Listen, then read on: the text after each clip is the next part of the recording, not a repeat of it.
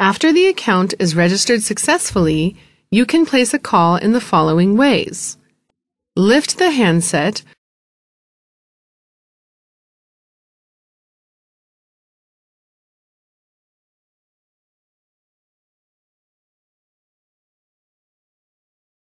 or use the speakerphone to dial directly.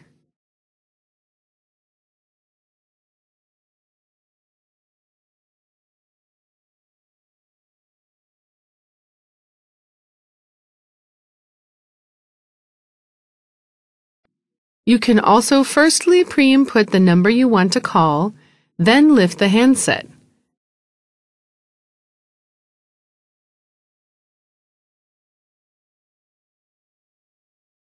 Additionally, you can use the send soft key, the OK key, the pound key, or the speaker key to send the call out. Whilst talking, You can use the handset, speakerphone key, or headphone key to switch the talking mode. When there is an incoming call, you can answer it in the following ways. There is the option to answer using the handset, the speakerphone, or the headset.